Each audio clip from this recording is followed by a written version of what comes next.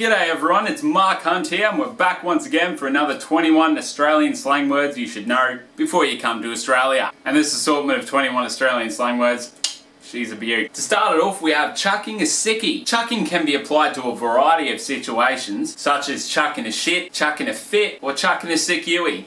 We'll get to that one. But chucking a sickie means taking sick leave. Not necessarily because you're sick, but more likely because Jono wants to go off-roading and you do too. Spitting the dummy is another name for having a tantrum. What you do if your boss didn't let you chuck a sickie. A sparky is an electrician. A chippy is a carpenter. A wanker is someone who loves themselves way too much. If you know what wank means, this one's pretty self-explanatory. Brumbies are not only a great Australian food chain, but also the name given to a wild Australian horse. If your missus is giving you a hard time, your partner's mad at you. Your missus can mean your wife, your girlfriend, or any other kind of partner that's a female. To be chipper means you're really happy. Over the moon for whatever reason. An old fella, depending on its context, is your willy your penis. The duck's nuts means it's the best. Something's a duck's nuts, you've made a good deal. Tracky dacks are good old tracksuit pants, endemic to West Sydney or Centrelink lines. A root is sex, not to be confused with a route, which is a road, pronounced correctly in Australia. A bog is a crap, bog roll is toilet paper, and a bog throne is a toilet seat. Bog means shit, essentially. Chock-a-block means something's full right up to the brim. For example, right now me fridge is chock-a-block with beer. Gonna have a cold one after this. Cat's pajamas is much like like duck's nuts means it's the best out there. Righto is a way of acknowledging something someone said and it's almost exclusively used sarcastically like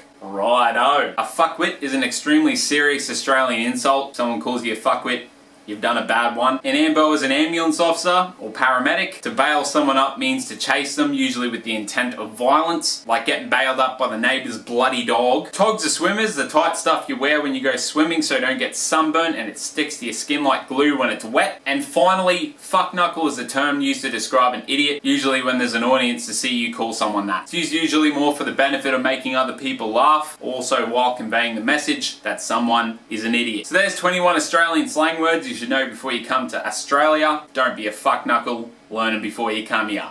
Thanks for having me. Catch us next time. Mark Hunt, Aussie Expert. Hooroo.